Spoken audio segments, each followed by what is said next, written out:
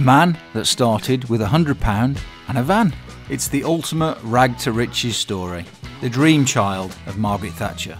And according to Lord Alan Sugar, the guy that brought computers to the masses. So, the Amstrad story, eh? Let me tell you. It's a belter of a tale. Picture this it's the 1980s, Margaret Thatcher's in power, the world is buzzing with excitement about computers, and Alan Sugar is a young, ambitious entrepreneur with a vision. Now, Sugar's not your average businessman. He's a no nonsense East End lad with a sharp wit and a knack for spotting a gap in the market. And boy, did he see a gap when it came to computers. You see, in those days, computers were expensive, complicated beasts that only the super wealthy, tech savvy could afford. But Sugar had a hunch that there was a market for a simpler, more affordable machine that ordinary people could use. So he set to work assembling a team of engineers, designers who shared his vision.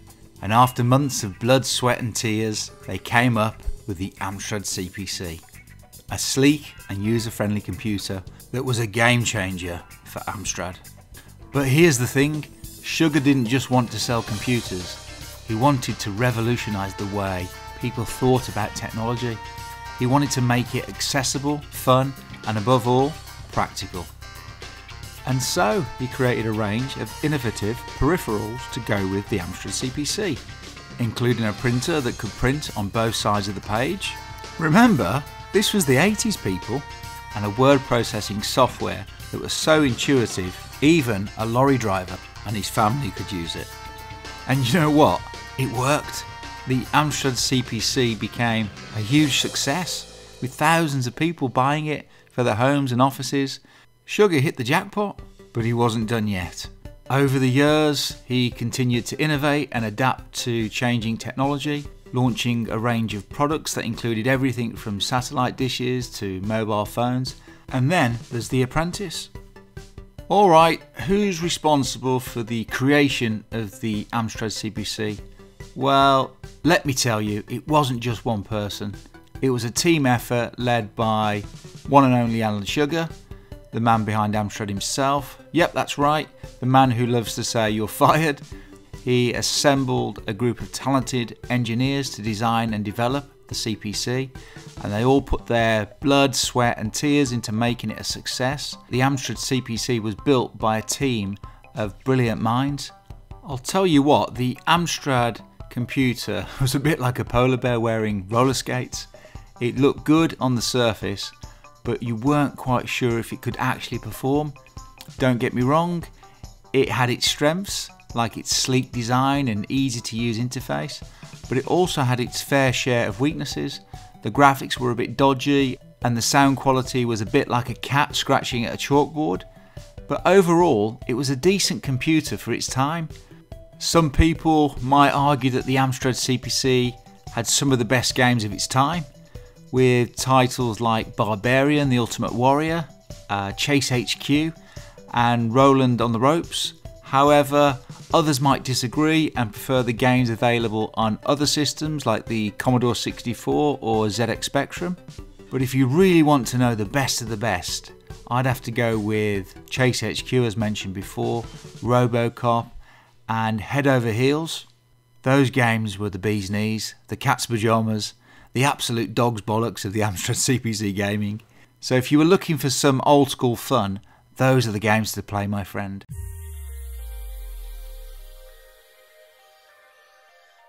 Picture the scene a sweltering day in the moggy dog days of August 83. Step forward, Sir Roland Perry, a hapless soul toiling away at a small fry of a company called Ambit International. He was bored out of his skull, probably by the annual stocktake. Ambit made a pretty penny running a mail order catalogue for electronic gizmos, funding all sorts of geeky pursuits that got their pulses racing they dabbled in publishing a magazine about electronics, designing nifty calculators, and even giving Amstrad a hand with their CB radios. Perry's job didn't exactly include counting transistors, which probably ranked somewhere between watching paint dry and cleaning out the office fridge on the excitement scale. But then, lo and behold, in struts Bob Watkins, the technical director over at Amstrad. Perry's ears pricked up with interest. This is more action than he's seen in months at Ambit's Digs on Brentwood High Street, a town situated smack dab in the middle of London's dreary commuter belt. It's a place where the suburban landscape gives way to rolling countryside, but excitement is about as common as a politician telling the truth. Watkins and Ambit go way back, thanks to some work the company did for Amstrad in the past. You see, Ambit's managing director, William Pohl, and Stan Randall, who was running Amstrad Hong Kong at the time, were boss and buddies, and that's how the cookie crumbled. The story continues. Watkins was lugging around a cardboard box like it was the most precious thing in the universe and plonked it down on the desk right in front of Perry. I mean, it's just a box, right?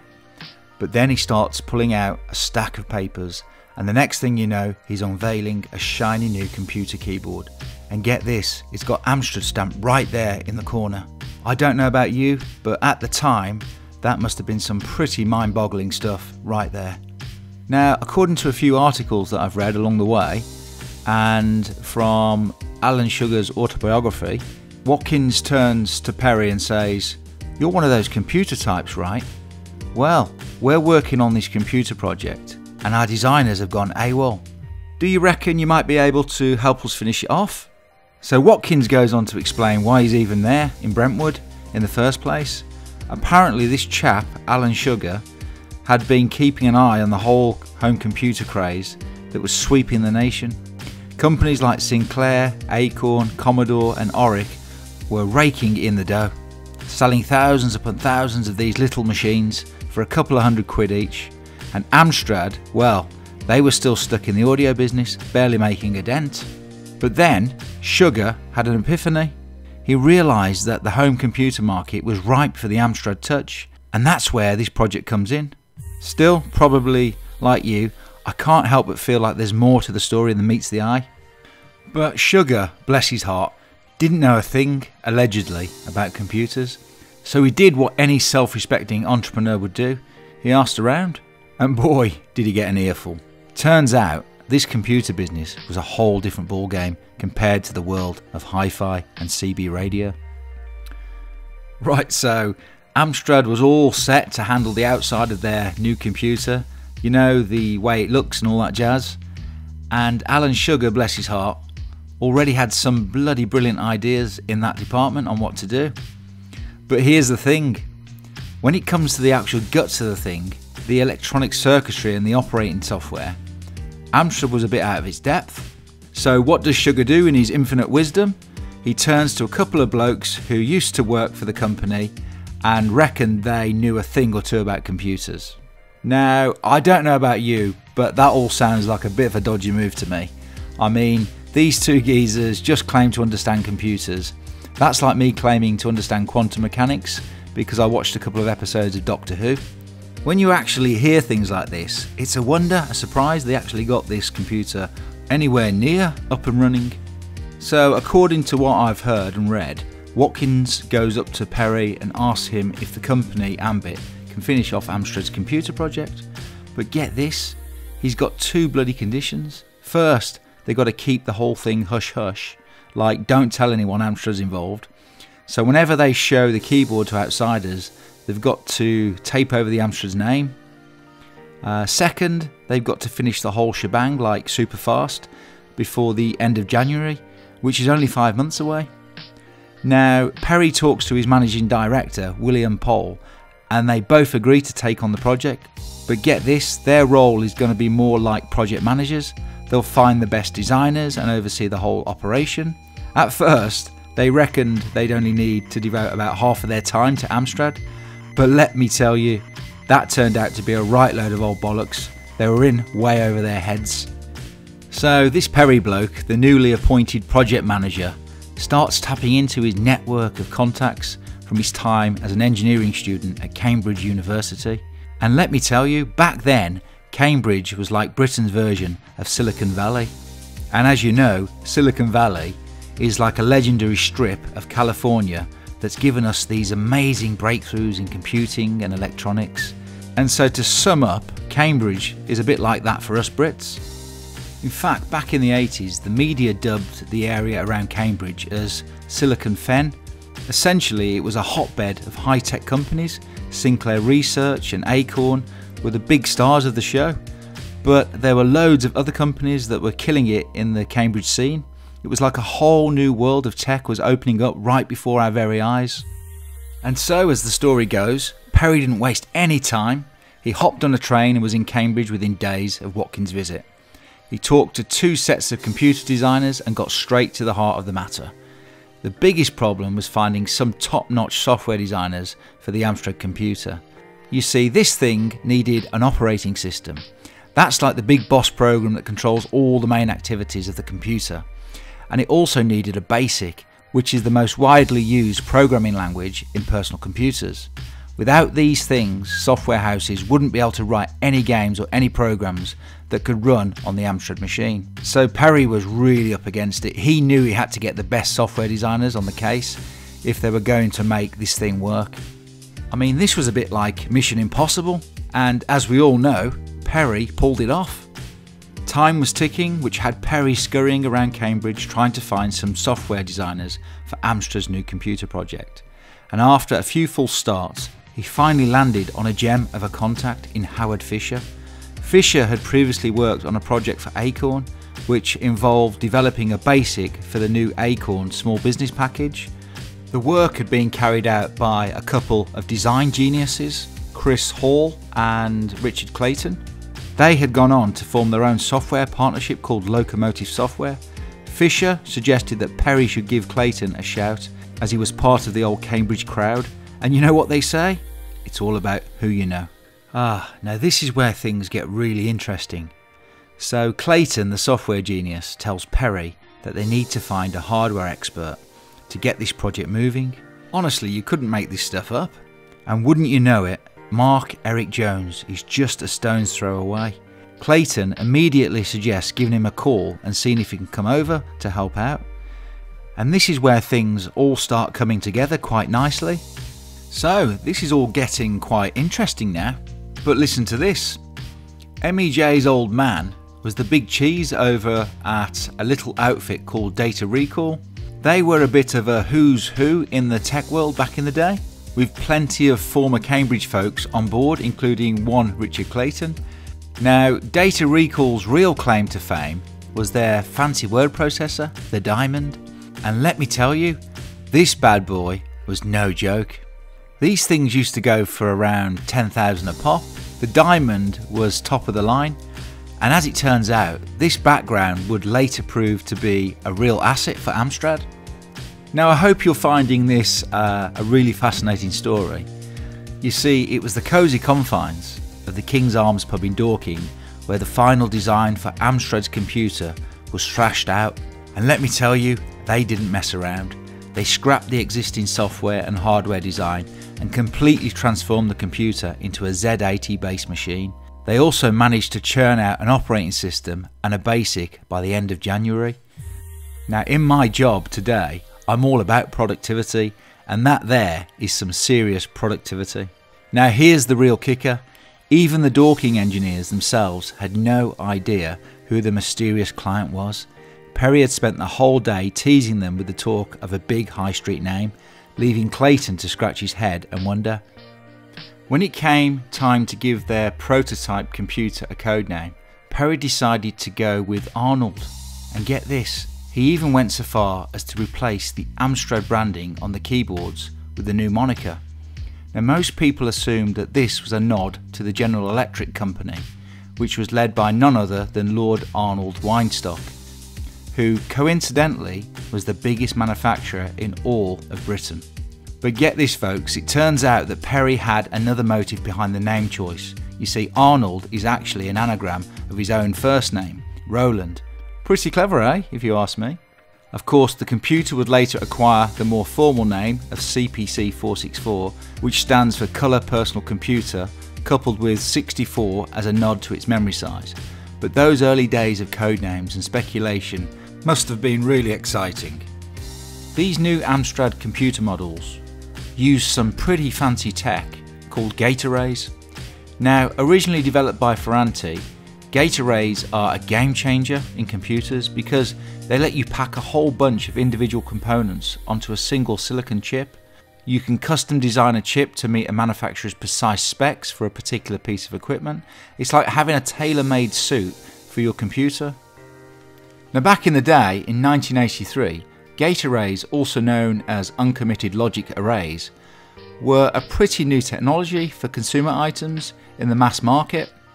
Even the mighty IBM hadn't used them in its first personal computer. So, why was it such a big deal for Amstrad? Well, MEJ had a chat with Sugar and he told him that the gate array had three major advantages. First off, by packing so many components onto one chip, they could cut down on the component count and cost of the machine. Second, they could fit more features into the computer for the same price. And third, they could reduce the chances of the Amstrad machine being copied because once you've got a customized gate array, its circuitry is effectively hidden, closed off. The Amstrad CPC 464 computer was a bit of a tricky customer when it came to gaming. It wasn't quite like your regular gaming console or computer, so it would take some serious effort from those software houses to write games that would work smoothly for it. But here's the thing Sir Alan Sugar, being the savvy businessman that he is, knew that he couldn't wait around for those software houses to catch up. No, sir, he had a plan. And that plan was to ask not one, not 10, but 50 software companies to supply one game each. Now, that might sound like a tall order, but you know what they say go big or go home. And Alan Sugar wasn't going home anytime soon. He was going to get those games, even if it meant dispatching 50 prototypes by late November. And let me tell you, that's no mean feat. Now, if you've ever wondered why the Amstrad CPC, when you boot it up, has a blue screen background and yellow writing, well, listen up.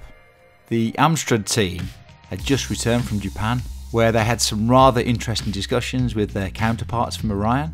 Well, it turns out that the Japanese wanted Amstrad to change the screen colouring on their machines. Now, you might be wondering why the Japanese were so insistent on this point. It all comes down to contrast.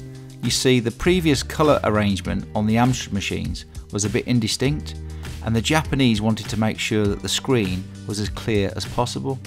And how did they plan to achieve this? Well, by using yellow letters on a blue background, the strongest possible contrast you can get. Amstrad wasn't about to argue with the Japanese on this point. They agreed to the request and Locomotive, bless their souls, set about adapting the colour codes to make it happen. The finishing touches to the design went smoothly thereafter, and it just goes to show that sometimes a little tweak here and there can make all the difference. You see, Alan Sugar had a rather unique vision for his first computer. He saw it as a games playing machine for the home, for sure, but he also wanted it to have one foot in the business market. I think even back then, Sugar was thinking big, even back in those early days. And part of his plan to make the CPC 464 stand out was to make it big enough to look like an office computer. He wanted users to realise its potential for business functions and let me tell you, he succeeded. The CPC screen was wide enough to take 80 characters, just like most computers found in the office. That's twice the amount normally available for a home computer. So Amstrad CPC's first computer, the 464, was unveiled a mere 8 months after Bob Watkins had walked into Ambit's offices. Can you believe it? Talk about a speedy turnaround. And by then, Amstrad had already hired public relation advisors, Michael Joyce consultants, to mastermind its increasingly slick product launches. These guys were top notch. They even went as far as hiring the Great Hall of Westminster School, a stone's throw from the Houses of Parliament, for the CPC 464's launch. So the Amstrad CPC was available in three different configurations. You had your basic green on black screen model, which was going for 229. Then you had a colour version for 329 and finally, there was a model with an add-on disk drive for 429. When it hit the market, the CPC 464 was greeted with pretty positive reviews from the press. Some journos even went as far as to call it the people's computer. Jack Schofield, computer editor for The Guardian, had this to say about it. This little beauty outperforms the Commodore 64, the machine's main rival, in practically every way. Plus, it's a heck of a bargain, costing a cool 80 less than an equivalent Commodore or Atari machine. Well, I hope you've enjoyed this video. Uh, please like, comment, subscribe, or better still, leave me a thanks. Plus, I'd love to get a decent microphone and a decent camera setup and go out and about, you know, revisit all the old software companies, go back and capture most of our misspent youth. So until next time, bye!